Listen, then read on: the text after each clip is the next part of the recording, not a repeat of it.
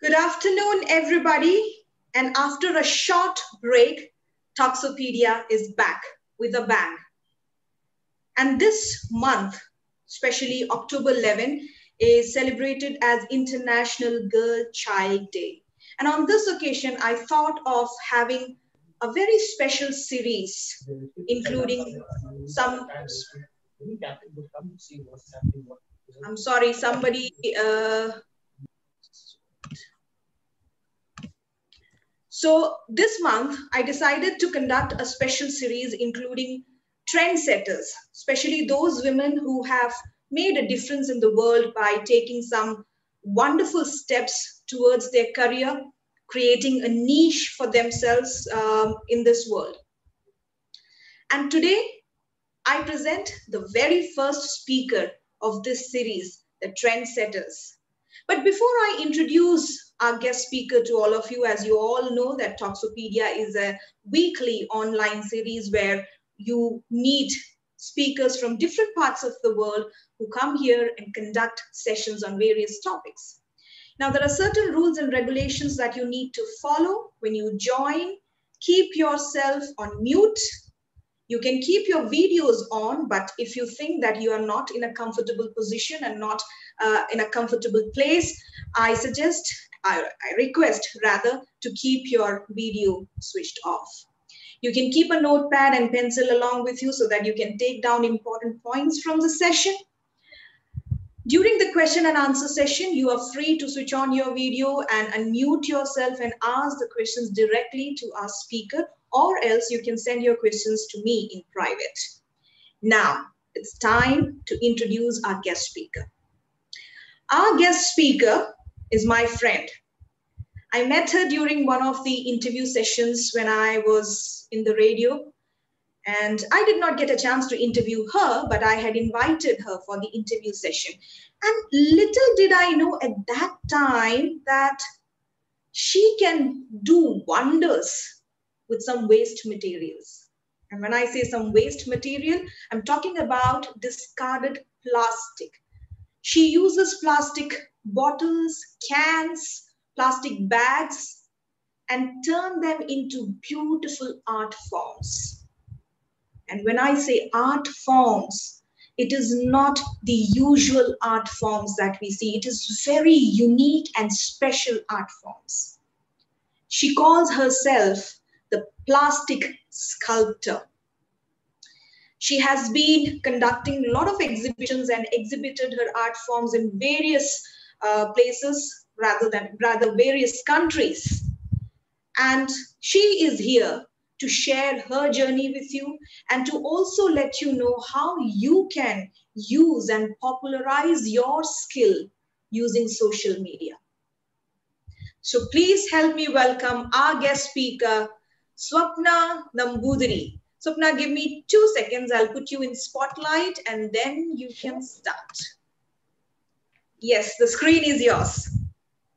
Hi, Risha. Oh my God, I'm still blushing. Thank you so much for that wonderful introduction. Uh, thank you and good afternoon to everyone present here. Thank you so much for joining this session. And I'm so honored and it's my pleasure to be able to speak few words about my art journey on this platform. Thank you, Nisha, again. Uncertainty. That's a common word which is trending these days.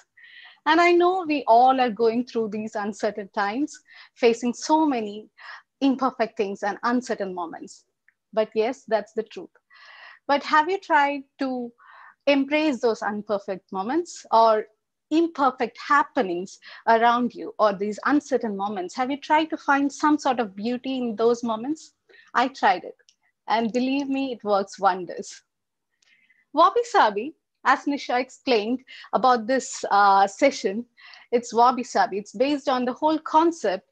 It's a beautiful Japanese philosophy centered around this concept of accepting, accepting these imperfect moments or uncertain things or imperfect things and incomplete works around us.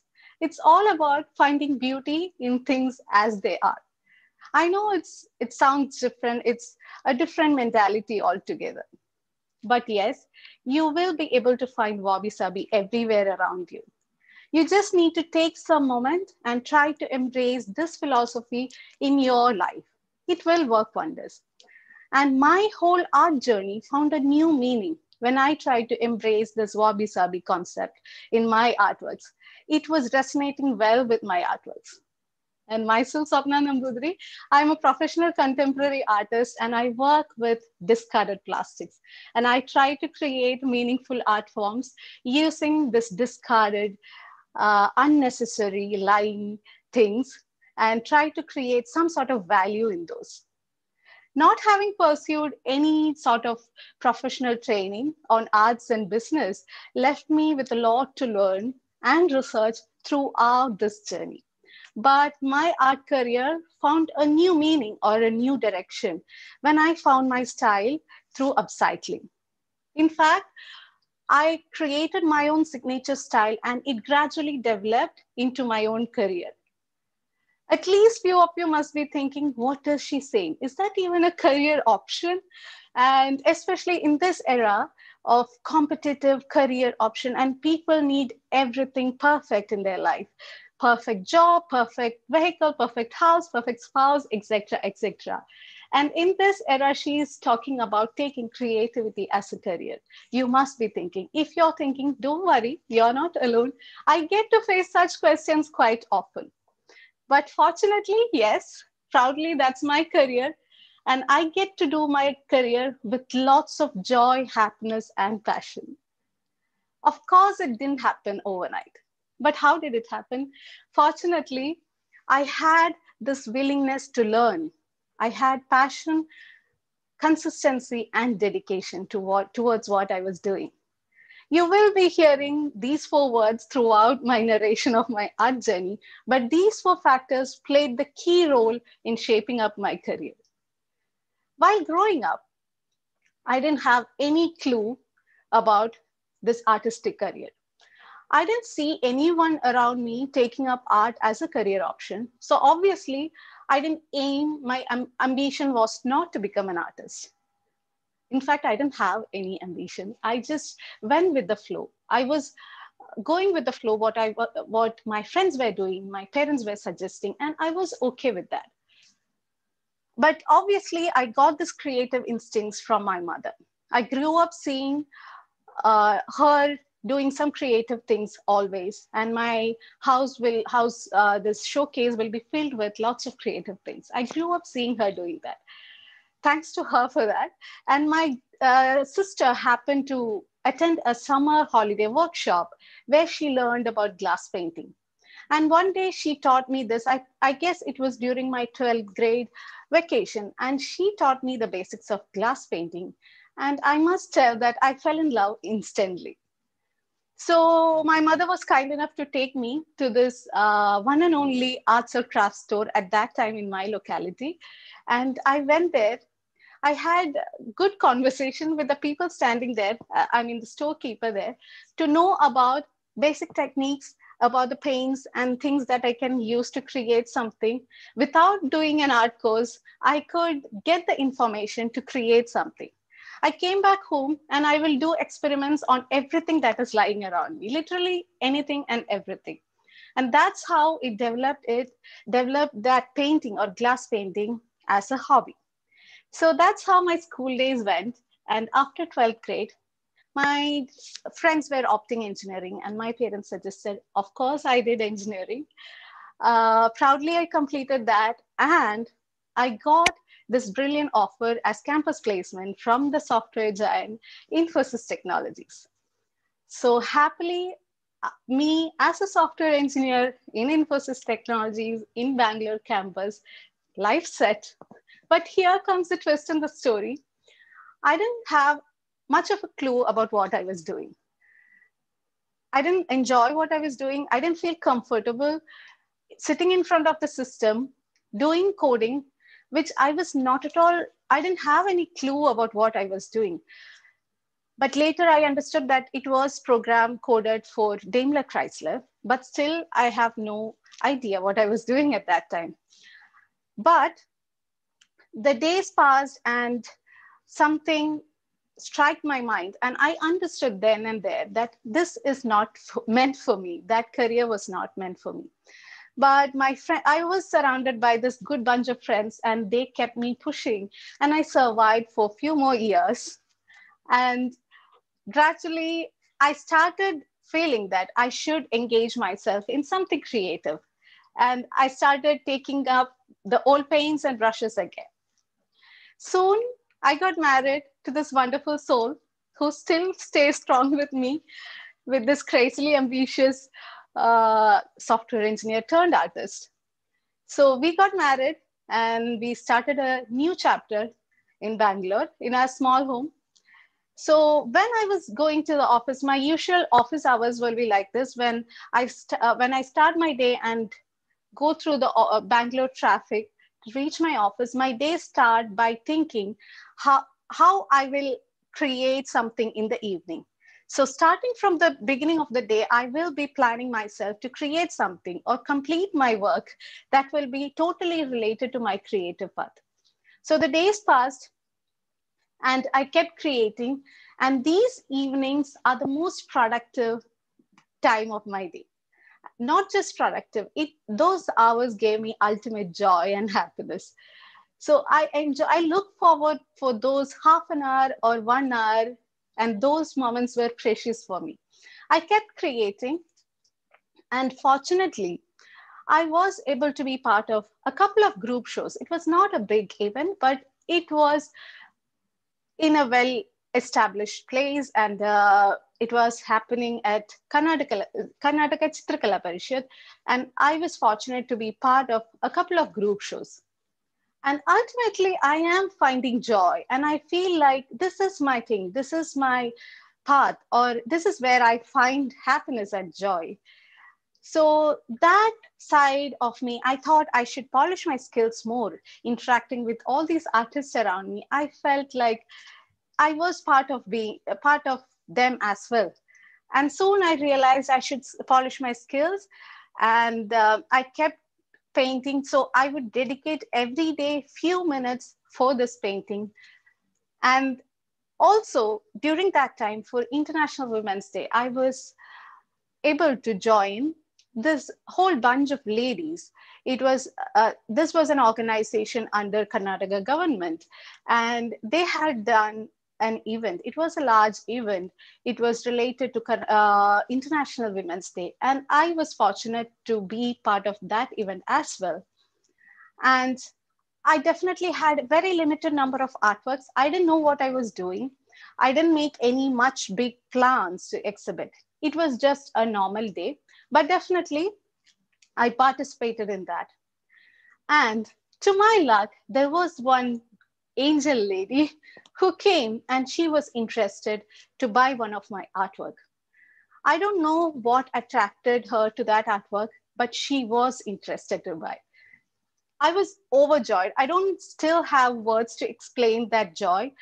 And I don't know why this high, highly paid Infosys job or this five digit big salary from the Infosys job didn't give me that much of a pleasure till that day.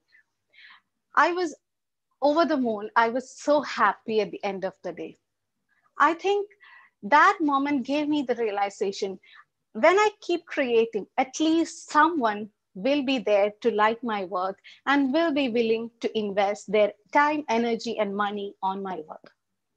And the days passed by. In 2010, we were blessed with our daughter, Shraddha.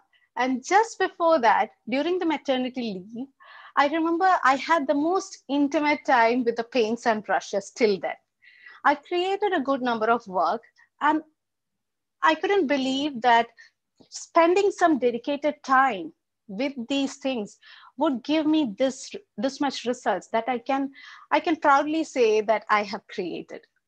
So then uh, after the delivery, we I went back to Bangalore and um, I had this perfect plan. Oh, I must tell I must tell that I had this perfect plan how to rejoin my work. So before that was that plan was made just before the delivery. So the plan was like this: for six months, I will be taking off from the job, and after six months, we'll be keeping a maid like a stay at home maid. And um, once the daughter, once my daughter turned one year, we'll be putting her in a daycare. This was a plan made because I have seen my colleagues are in front of Info, Infosys campus. Fortunately, we had this daycare and I have seen parents dropping kids in this uh, small stroller or this bag kind of thing. So I also had this perfect ideal plan made. But as soon as I reached back Bangalore, I don't know what had happened. My motherly instincts had played a role, and I was like a cranky baby. I didn't want to leave my daughter like that and go to office. So the situation has changed like this. By 6:30, my daughter would wake up, and I will be busy getting ready to the office, cooking breakfast, cooking lunch, eating food, pumping breast milk, etc., etc. By 6:30 in the evening or 7 in the evening, after the long working hours, after all the Bangalore traffic, I will be reaching back home just to see that my daughter will be getting ready to go to bed. So these days passed, and I don't know how I survived all those months, but literally I was out of my mind and I couldn't uh, concentrate on my work. Every every hour, I will be calling to uh, uh this maid to check if she's okay. I'm talking about a seven month, eight month old baby. Then I pushed myself for a few more months. My husband understood my situation. And we both discussed and decided that at least few more months or few more years, in fact, I will take a break from the software field and will take care of the baby once she is okay enough to go to a daycare or a play school. I will restart the job. This was the plan B, okay? And we did that. Finally, when the when I put the resignation paper, I felt like this whole weight was taken off from my shoulders. I finally felt freedom. I was so happy. And I, I still doubt that I, even I didn't have a slightest bit of regret at that time. So the next day, since the next day, I, I just started my day as usual. And um, instead of do, going to work, whenever my daughter is asleep, I would sit and paint. So this was the most hap- happiest moment. I could see my daughter moving. I could see my daughter smiling and growing up. Alongside, I could cherish these small moments while I am creating my own, uh, my own small interest. I am developing this interest. So those days passed for a few months, and while doing that, I thought I should explore the social media. So the fact is, till that point, I was not even in Facebook or social media. Uh, and I started this uh, social media profile, Facebook profile. After a few days, I thought I will just share few photos of what I had done till that time. And in the initial phase or during that time, each and every comment from your relatives or from your friends means golden words for you. So that was like a confidence booster for me to keep creating. And through my friend, I came to know about this option about Facebook page. And I created my own Facebook page and I named it Dreams, My World of Colors and Experiments. Of course, I was doing experiments with colors. So still the page's name is that. And I started sharing these uh, photos of my creations. This is where the social media came came and played the major role in shaping up my career because it was a vast world out there. I would spend three hours or maybe one hour painting and one hour polishing my skills online, polishing my knowledge, how to share this work and how to connect with other people, connect with other like minded artists, and gain knowledge. So social media helped me in all these skills. I would definitely suggest every creative person. It is not at all an excuse or it is not at all uh, an option if we are living in this time because we have this huge opportunity in front of us. So we need to learn to utilize that. So social media helped me in all these situations to connect with so many artists and crafters around my location and globally. Second, to build confidence in what I was doing. Third, polish my skills and learn a lot of knowledge throughout. Every day, I will learn something new. So whenever I'm sharing these photos, I started getting good feedbacks. And I explored this opportunity to share the photos in various groups, which are dedicated to various arts and crafts happening around the city or around the places. I got good connections with all the crafters and artists around me, around that place in Bangalore. Also, this gave me a huge knowledge that yes, there is people out there, there is people in some part of the world. They are doing or they are taking up creativity as a career or they are doing handmade businesses. And it is just like any other business. In fact we all are in business. Like basically what do we do?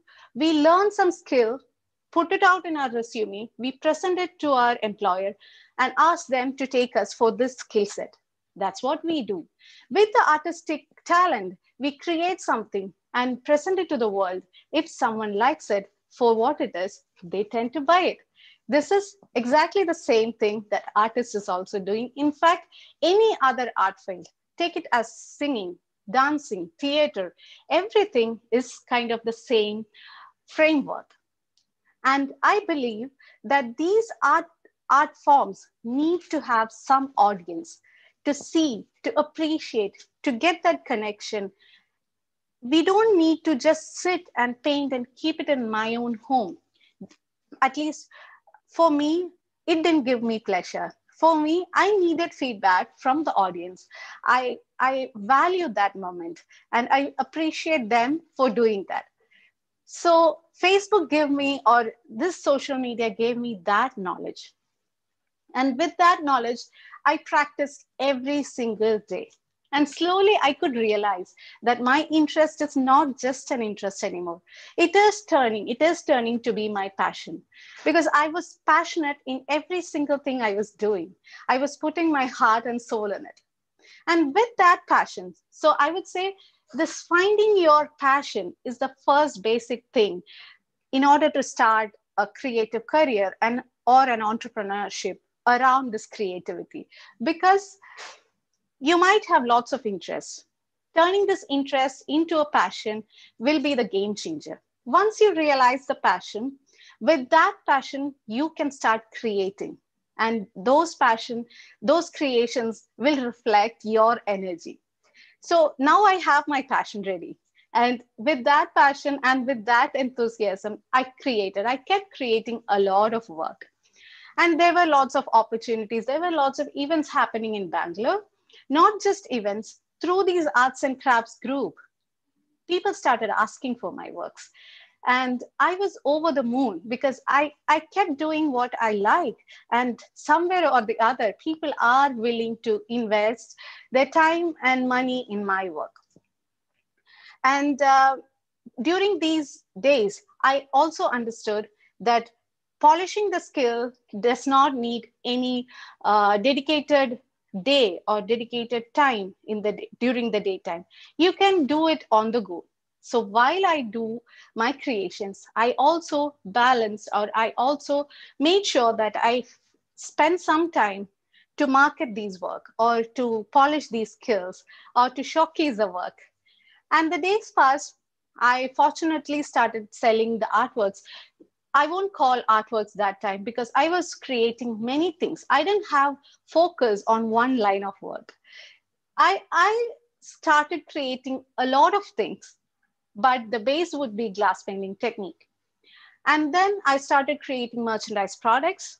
I started showcasing on various flea markets, exhibitions, and various events happening in and around Bangalore it was definitely hectic days because I had the small one year old, two year old baby at that time.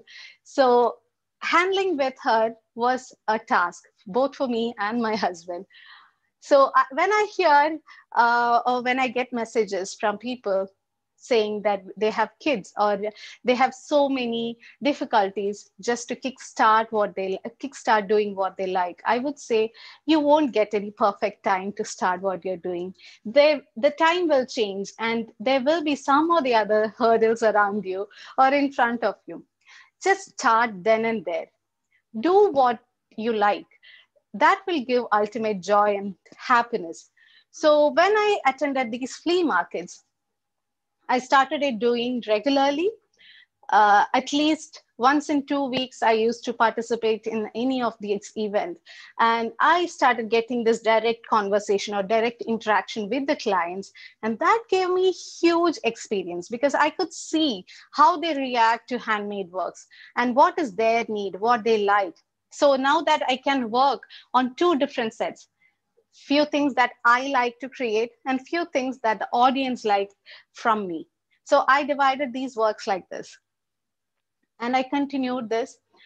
After some months, I would say Facebook gave me yet another important information that there is one website or online platform out there where you can exhibit and sell your handmade products. I still remember the most unprofessional email that I had sent to them asking if it is possible to showcase uh, my works as well.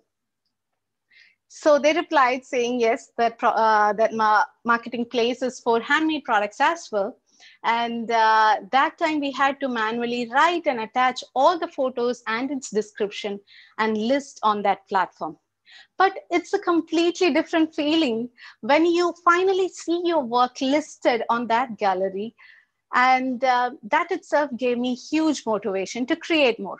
I didn't have much clue about how to update online platform or how to price the artwork, how to add description about or stories about this artwork. I, I was total novice in all these fields, but still I thought I should give it a try.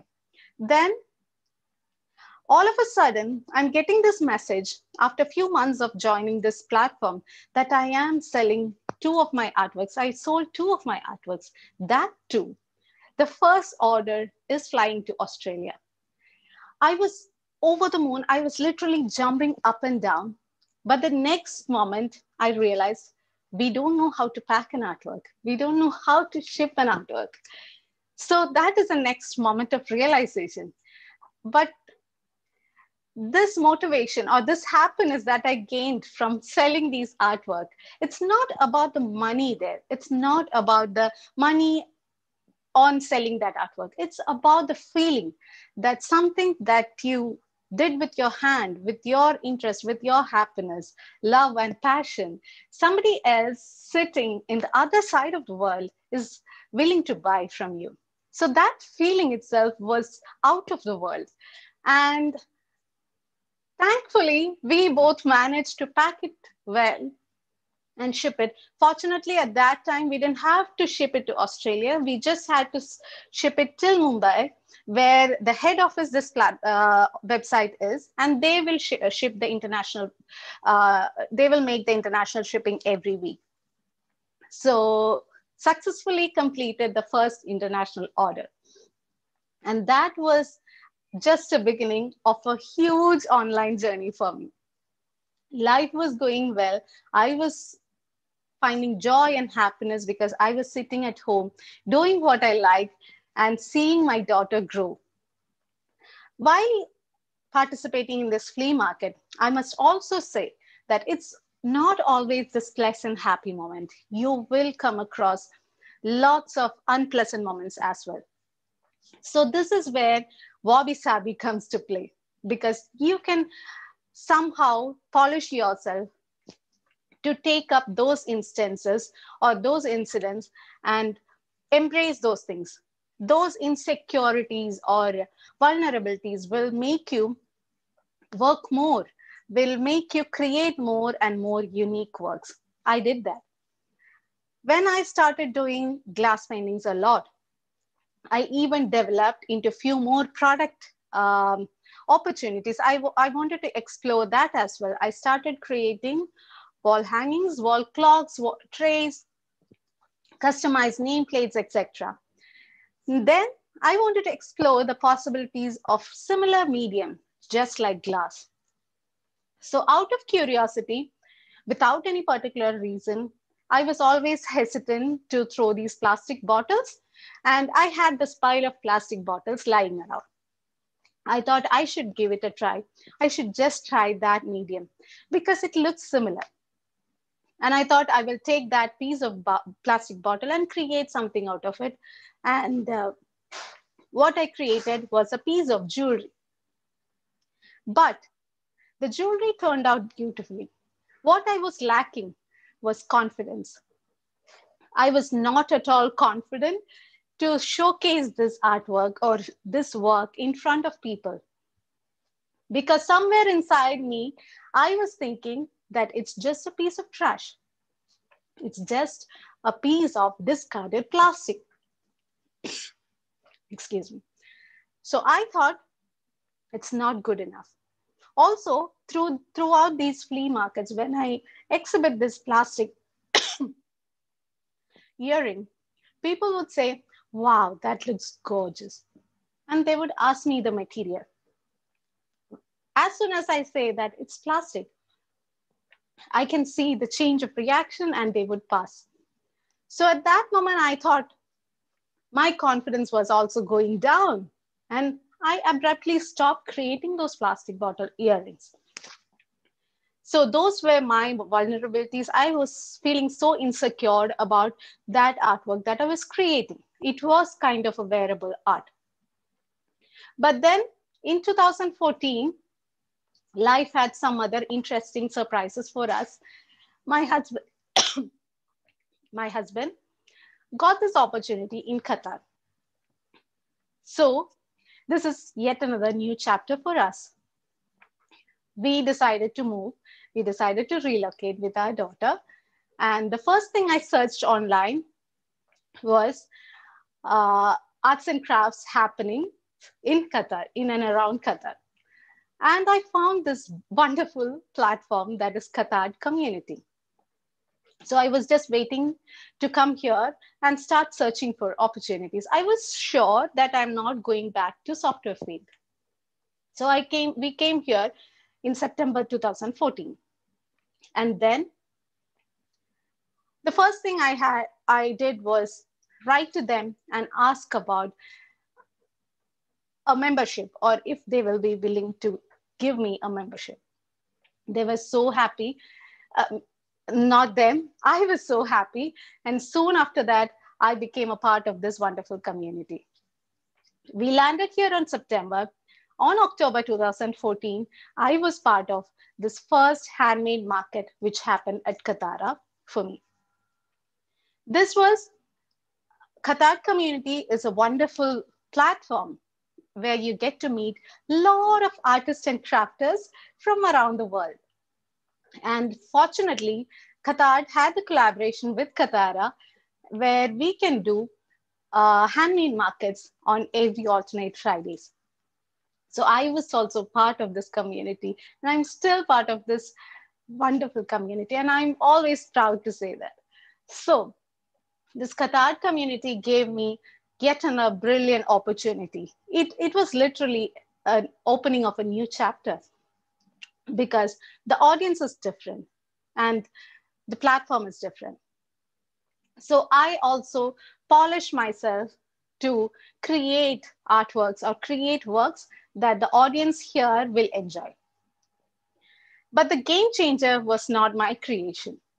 It was an advice from my close relative on pricing. He advised me how I can value my artwork or how a handmade work should be valued. And that was a game changer. I went to Katara, uh, Qatar Art Market, and with his advice, I had priced all the artworks accordingly. And for my surprise, there were people willing to buy those artworks. I made lots and lots of Doha skyline paintings and paintings which highlighted Qatar's landscape and culture. Since I was, I had the background of painting on glass and also uh, plexiglass looks similar to glass. I started working on this wonderful medium, which looked just like glass, but it's not breakable. Then I started making more and more artworks on this medium.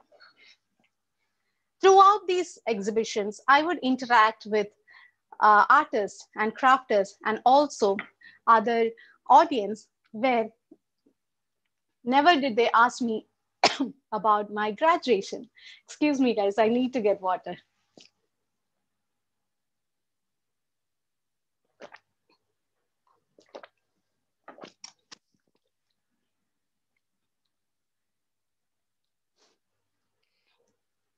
Yes.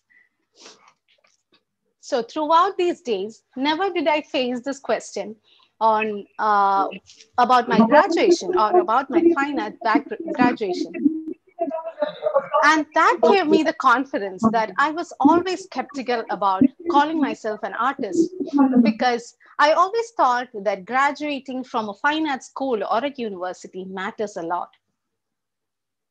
Throughout these days, the audience gave me the confidence boost or the audience pushed me to create more and to take chances or take risk. And one fine day i came to know about this wonderful platform instagram. And instagram surprisingly was like heaven for me because i got to meet lots of artists on visual arts medium. And i realized that it's just not painting one face or on or one landscape in one particular style. It's about lots of other creative sides of it other techniques other mediums. And it was a wonderful learning experience for me. Every day i would learn something new. And through instagram i came to know that there are artists exhibiting on online platforms. So now comes the role of the big online platforms. Till that point I never had visited any of the art gallery. Uh, yeah, I had visited Karnataka Chitrakala Parishad, but other than that, I haven't been, uh, visited any of the galleries just because I didn't have the confidence to go. Or so, let alone the fact that I I wanted to exhibit, the confidence that I needed was not there. And that moment, I, I realized this online platform is perfect for me because I can see artists around the world. I can see the artworks, more than thousands and ten thousands of artists exhibiting their talents on these uh, uh, online platforms. And I learned about various art techniques and art materials. So, since it was a global platform, the way I could polish my skills was also different. I enjoyed every bit of it. So I started creating artworks that I could also feel confident in presenting on this online platform. So first few months after joining, so first few months after joining this online platform, I didn't update my place or I just registered and kept there. But after a few months, since I started making few more artworks, I, I learned myself how to take photography, how to edit that, and how to upload on these online platforms. I did that. Few months later, again on this platform, I am getting orders. This was something else for me. So I thought, yet again, it's it's proving that when you put your energy and interest and passion on this, you will get the result. So I thought I should make, I should be making more and more meaningful artworks. It took some time for me to find my own style. Definitely, it won't happen overnight. I get a lot of questions asking, how do you find your style? Not just on art, on any creative path creating a niche or creating or finding your own style is a game changer or is an inevitable moment when you realize that there is value in your work. So finding that moment took some time. I tried various mediums, various techniques, because only then you will realize the thing that you are meant for. So it took some time and I polished uh, on the go. I was polishing my skills. So it was a win win situation there. And throughout these days, the whole companion, I, I didn't notice that I had this companion of discarded plastics. Without any reason, I kept piling up these bottles. So one fine day, I thought, this was my old buddy. I used to make jewelries with it. Why can't I create artworks with it? I did lots of experiments and I started creating a lot of experiments. So, in the initial stage, it was just out of curiosity that I found my love for this plastics. It was just a mere curiosity or uh, to try something new with this flexible, vibrant medium. But the days passed, and I happened to read this uh, disheartening or disturbing fact about plastic pollution. So it was like this. By 2050, our oceans will be filled with plastics more than fishes. Are you surprised? Don't be surprised because you have lots of more facts. According to The Guardian, since the past 70 years, can you guess the amount of plastic that had been manufactured? It is 8.3 billion tons of plastic that had been manufactured in the past 70 years. And only 9% had been recycled. Not finished. Worldwide, every minute, that is every minute, 1 million plastic bottle has been bought and 2 million plastic bags has been bought. And can you guess the work life of this plastic bag? It is just on an average of 15 minutes. So this plastic bag has been created for a purpose of 15 minutes and then has been dumped and it will lie there for another 100 and 400s of years. There is one more interesting and very much disturbing fact. That is, an average person will consume 70,000 microplastic every year. Just think about it. These plastic bottles that we dump, we don't know the uh, aftermath or the story after that. We just dump it on the bin. We don't know where it ends up. They might end up in the ocean. And after years of reaction with the salt and water and the climate, it will become microplastic it will end up in the ocean and the ocean life will consume that and ultimately it will reach to us humans so these were some of the facts that i read very accidentally and i think i'm a, i was meant to read this.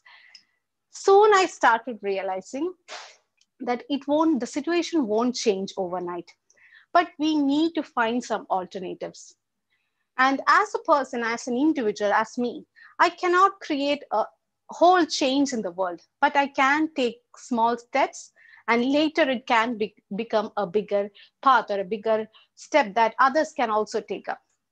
So it was meant to be a small change. And each of these baby steps will count. I realized that. And every day I woke up with this motivation in my mind to add value for these discarded plastics. I thought, and this gave me the knowledge that definitely upcycling can become a brilliant business model. It need to have that business model so that the production, the production side will also get affected and they will start realizing that even the mineral water or water companies are not creating the water, they are just creating the bottles. So each in, uh, individual need to take that initiative. It was kind of a huge realization for me.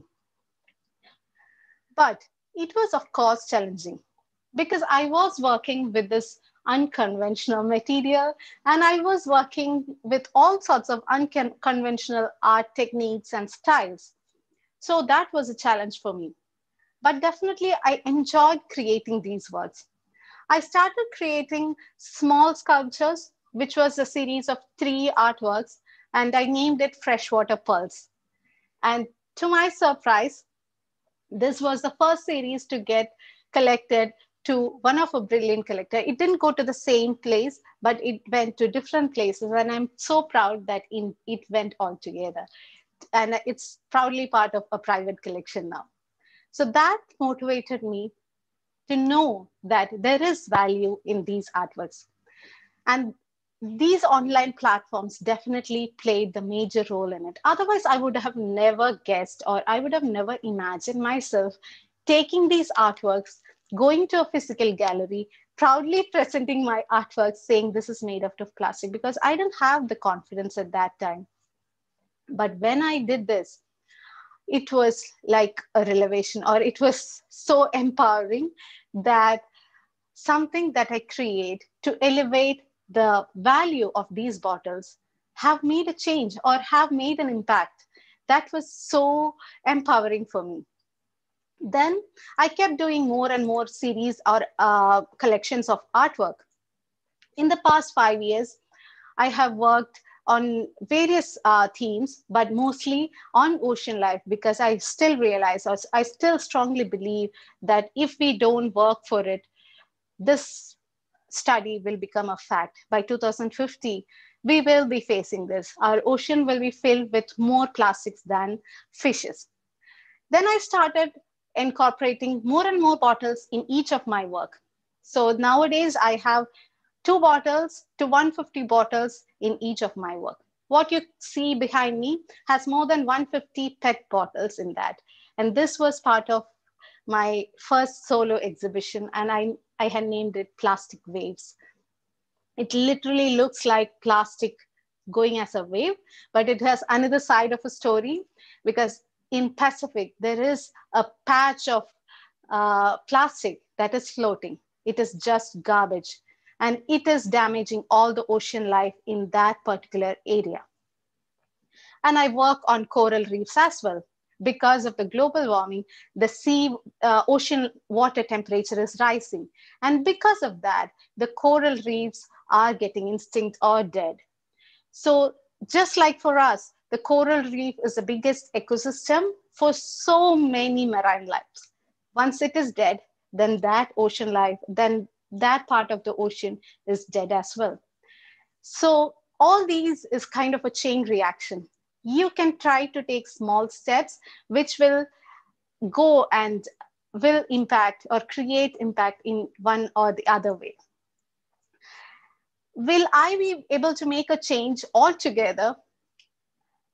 Definitely, I'll be make, able to make a small change. As not as an individual, but collectively, we will be able to make a bigger change. Each person willing to take small steps at a time can make a bigger impact. So what we need is we practical upcycling solutions. There can be, there, there, still there are lots of innovative ideas starting up in many parts of the world. We still need more and more initiatives or upcycling solutions or business models that can create solutions for so many uh, uh, so many issues that we face just because of this plastic pollution. And I'm sure these will create sustainable impacts or sustainable alternatives for that so that we can create a better planet or we can give a better planet for the coming generation as well. And that's how the sustainability path I took and uh, Artfinder or Saatchi Art Gallery or these galleries played a major role in my in my art journey or taking my art artwork to the very next level. And in 2018, Artfinder listed one of my artwork to be the best uh, for that month. That was like, oh my God, I cannot, I still cannot explain that feeling uh, I can maybe relate to the moment when I received the first order, maybe something similar to that. I was over the moon. And uh, I didn't expect that. It was something huge for me because getting a recognition on that big platform with more than 10,000 of artists from around the world, your artwork that you made is getting recognized as one of the best for that month. That was huge for me. And during that time, I happened to see this call for artists for Tokyo International Art Fair. And again, through social media. So when I saw that, I just wanted to try my luck. I prepared my CV and uh, I collected all the data with the photos that I had at that time. I submitted my application and soon I received the acceptance call. I was thrilled. And the next moment I realized we don't know how to participate in a global art fair. And that was again a learning curve we searched and we uh, uh, uh, unfortunately we didn't have any um, contact point or reference point to ask or how how can we uh, go to tokyo and exhibit there. But we did everything. We searched everything online and we made it happen. We means me and my husband. Of course at that time my daughter was seven and i had a one year old boy when I say that, I still cannot believe that we pulled it through successfully because I was carrying this one year old boy and the artworks. We traveled all the way to Tokyo to exhibit 20 of my artworks created everything out of plastics. It was the proudest moment of my life. There were lots of artists from around the world and collectors from around the world. And I couldn't believe my eyes. People spent minutes and hours on my near my artworks asking about the stories asking about the connection or trying to connect with those artworks. Those were so empowering and i felt so blessed to be able to do that. Then tokyo exhibition happened. It was a two day event. Even i was fortunate enough to sell the artworks as well. We came back that october uh, I also got the opportunity to do my first solo exhibition here in Katara. Katara Art Center was the platform where I could exhibit another 20 of my work named under the series For the Planet. I uh, this ocean wave, plastic waves, one and two were part of it, and I had 18 other artworks as well. It was a one month show, and I had I received a huge amount of appreciation for that because I was skeptical at one point since I was using these plastic bottles. But the amount of appreciation that I received was tremendous. It was like, it pushed me for so many, so many years to come. And that gave me again the confidence boost to apply for yet another art fair and apply and I applied for Amsterdam International Art Fair, which happened last year. And we all traveled with my artworks and the kids. That was yet another opportunity. And I would emphasize on the fact that it all happened not just because I was creating at my home. It happened because my creation was going hand in hand with the marketing and the learning curve that is happening side by side so it was kind of a balance. It was kind of uh, you know finding that uh, perfect line between the creation and the marketing part or the learning had to go through. We won't stop do, uh, learning because every moment something or the other is changing and we need to get that update or we need to update ourselves. And that happened in 2019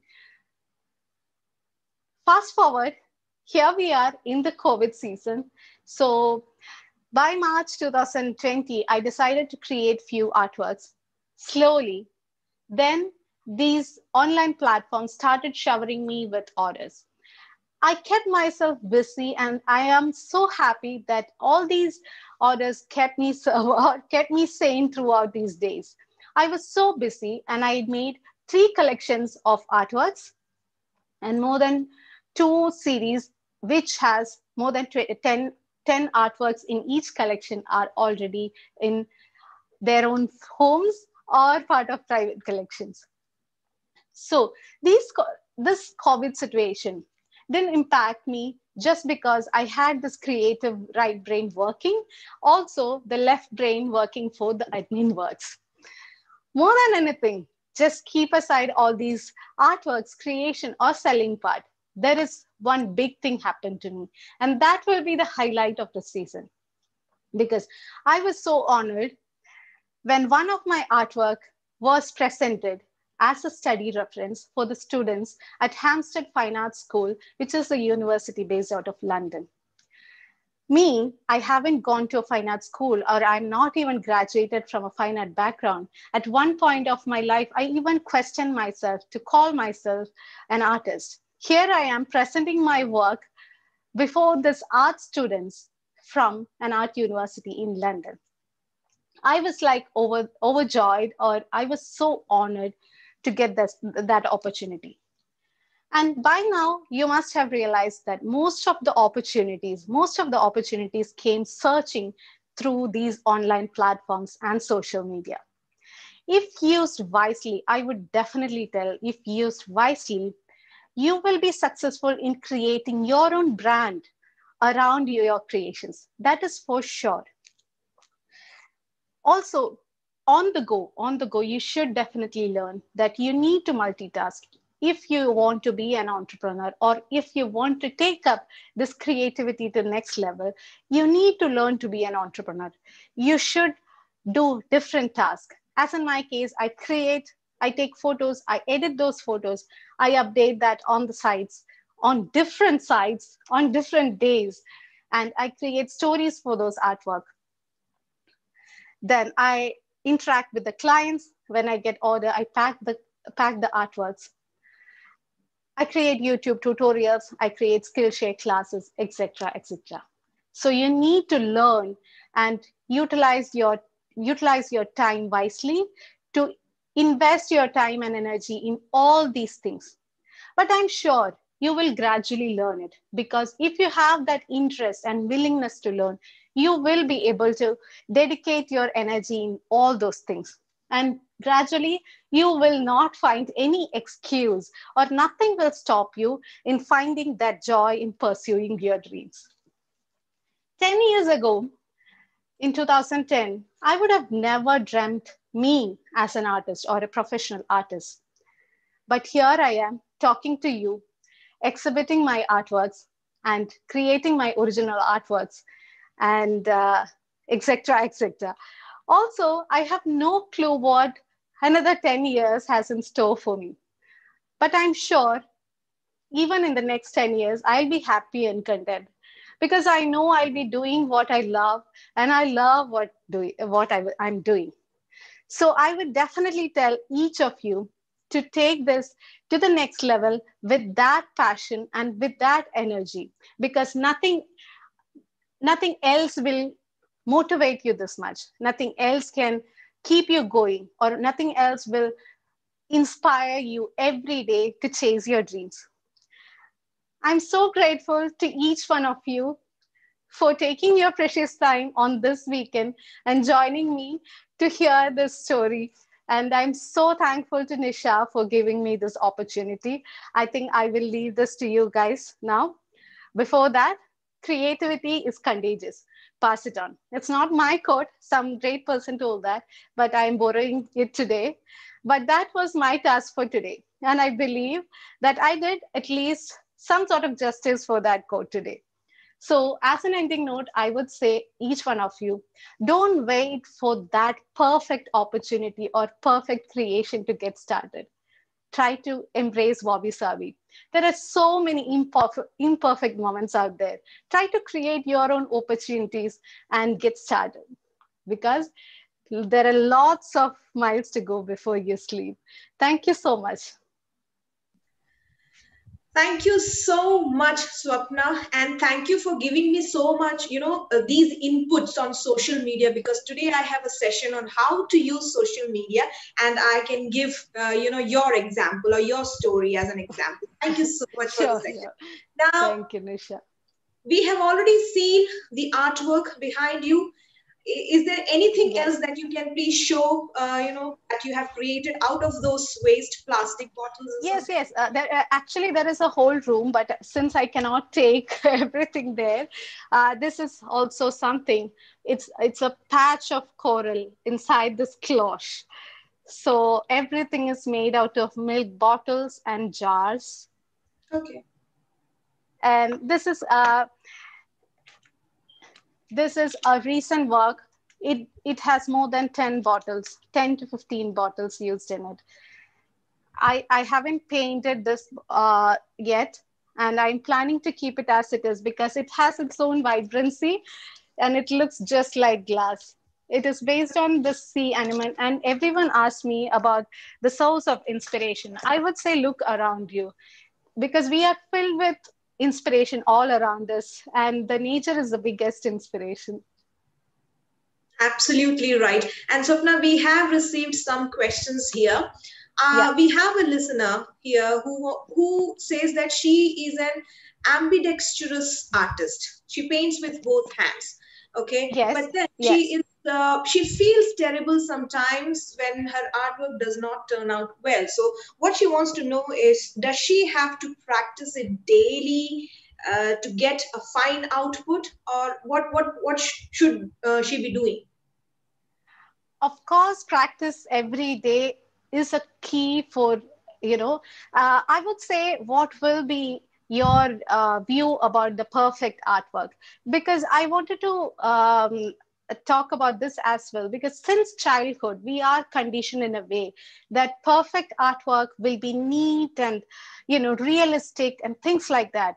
So since childhood what we see is even in a drawing class or an art class what we will be given handed out a paper with a design and we are asked to copy that exact thing. And once you succeed in getting that same realistic picture you are a good artist. But once you don't succeed you have room for improvement and you will be asked to practice more. And these kids will grow up thinking that i'm not good at drawing the, that exact same design. And one day they will practice and practice at some point they will lose interest in practicing because they're never getting that eyes or nose or lips correct. And they will lose that happiness or that interest and will just stop trying it. So it is our perfect or our perspective about this perfection. If you're looking for a perfect picture then you might have to work on that every day or maybe you can try changing that perspective a little bit. You can just enjoy the process of creating and see where it will take you. I think that will be the most, uh, you, you know, empowering thing. Or you can create like that. Just let loose yourself and without any inhibitions, try creating every day and see where it is taking you. Don't think that you're wasting the paper or you're wasting the paint on the go. It's all part of this process. When you go to an art school or when you are learning something you definitely need time and energy and materials for that. Just think that way. You are in the learning process. So try to spend some time every day and learn to see how this process is taking you. Don't think of the end result. Just enjoy the process and see where it leads you. And find the ultimate happiness in the product that you gained at that and and that will be the end result not just the end result that you had in in your mind. I think it, if you change that kind of perspective maybe you will you can create more result. Also in this point of time there are lots of platforms where you can create uh, the visual impact. We you can um, document that process and people will be there curious to know how you're doing that with both your hands because there are platforms like TikTok or even Instagram where people will be so appreciative or they will be curious to know how you will be doing with both your hands. So make it uh, more interactive or make it so interesting because it's it's a unique talent to create something with both the hands. So use it wisely, use this platform and create out of it, you yourself should start enjoying the process, not worrying about the neat or perfect result. That's absolutely right, Swapna. And uh, somebody here wants to know how to price your work and what is the basis for pricing. Yeah. Pricing plays a major role. For me, also, at the beginning, when I, I started my uh, work, I didn't have any clue about pricing the first thing that you can do is uh, just have a basic uh, or you can browse through lots of artists who is doing something similar or that like your work something similar style or technique or you can uh, gain knowledge from those pricing criteria and rate yourself.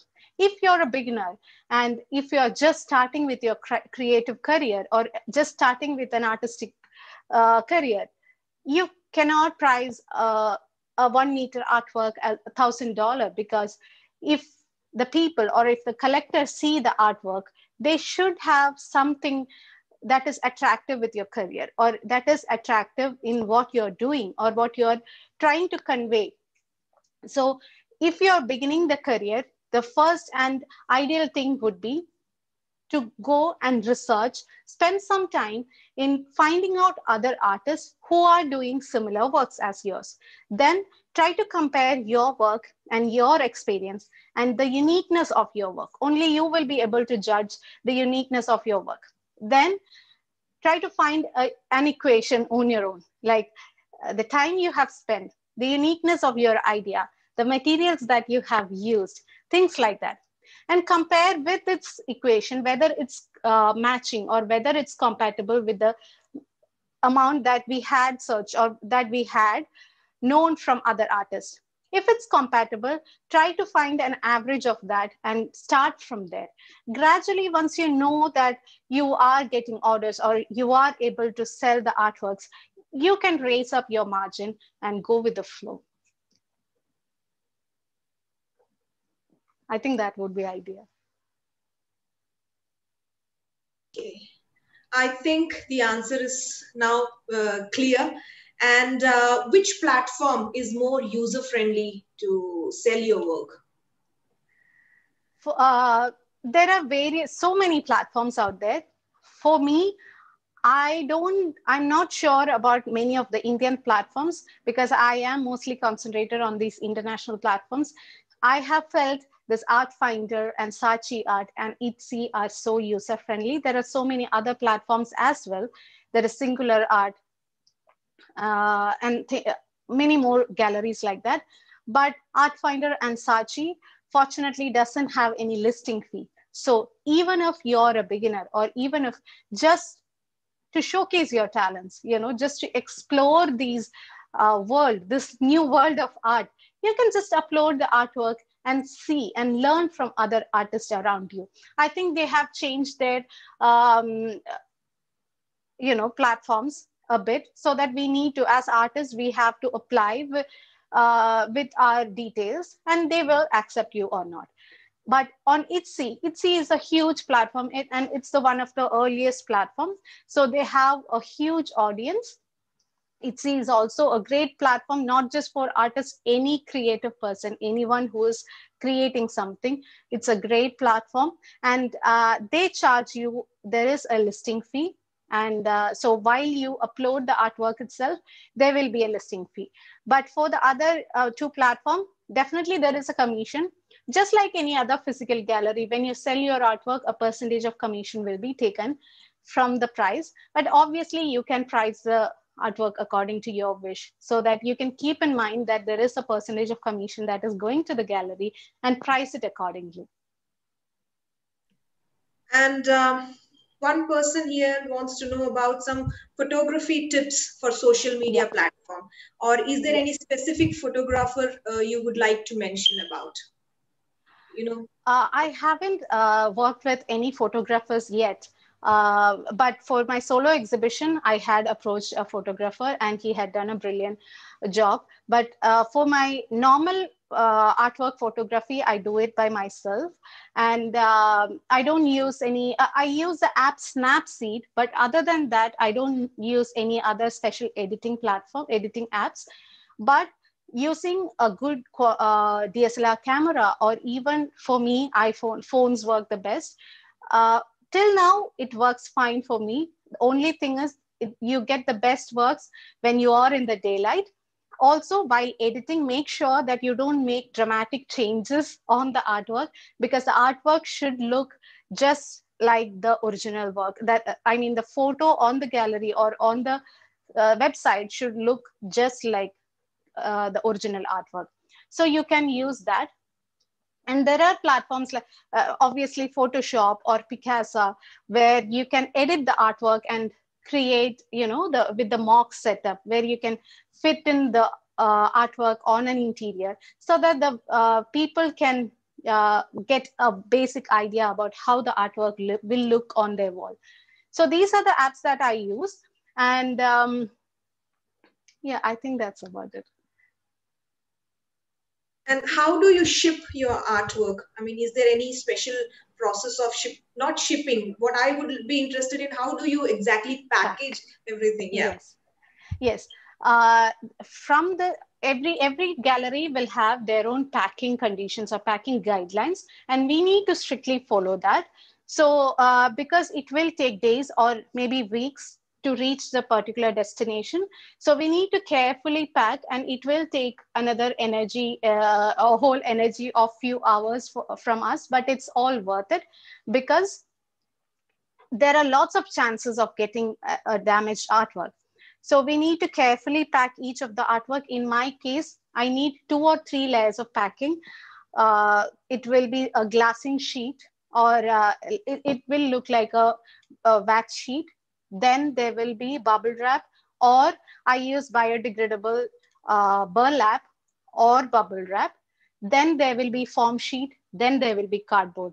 For my sculptural artworks, I need foam board in between so that the textures will not get compressed or there won't be any damage uh, on the on the textural surface and then pack it with the cardboard so always make sure that you have a clue about uh, how about uh, dimensions of the box so that all these details need to be updated on the site and each gallery uh, works differently there will be a uh, particular field where you can add the shipping details. So the uh, client will be paying you for the shipping.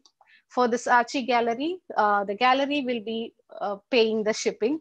So you don't have to worry about it. So things are different. Once you get into those platforms, you will start learning yourself. And uh, how do you get invited for an exhibition? You have to uh, have an eye on those things there will be a particular time when they give out uh, calls. They will be calling for art, artists. So at that time, you need to apply. You won't be getting called. Or once you get into that, you know, when you go to that circle, now that I had participated in these two exhibitions, I get calls through their contacts. I get calls from there, or I get emails, invitations like that. But as an initial step, you need to keep an eye on updates of the galleries or the exhibitions that is happening. And then once they start calling, apply for that so that you have the, uh, by that time, you can prepare the CV or the photos, everything is ready and apply for that. And uh, Swapna, one more time, could you please mention those groups that you had joined here? You were talking about some group named Qatar, Qatar, right? Yes, yes, Is yes. this Qatar? Cut Art. It is Qatar plus T. Cut Art. Okay. Okay. Yeah. So it's it's an active group of artists, right? It's an act. Yes, it's an active artist group. There is an uh, artist group for Indian artists. It is VAFI. V A F I. That's also a group for a group with Indian artists. So these are the groups that I am part of. Thank you so much, Sapna, for sharing all these stories and you know it was very informative for all those people. I think a lot of uh, ladies had joined. They wanted to know how to exhibit their work and what how to which platforms to use and where to join where to go. So you have made yeah. it very very clear. Thank you so much for this session. And as it is rightly titled wabi sabi you need to find yeah. beauty in all these small imperfections, correct? Correct, correct. Exactly, exactly. Thank you for quoting that perfectly, Nisha. And thank you so much for this invite. I'm so honored. Thank you so much. Thank you so much once again. Thank and you. as Swapna said, creativity is contagious. So pass it on. And Talksopedia yes. is doing the same thing. Just pass it it on every Friday. So we will take a break now, not a break. We will, uh, I'll just sign off and we will meet again next Friday with a new trendsetter. Till then, have a great weekend. Bye-bye. Take care. Bye.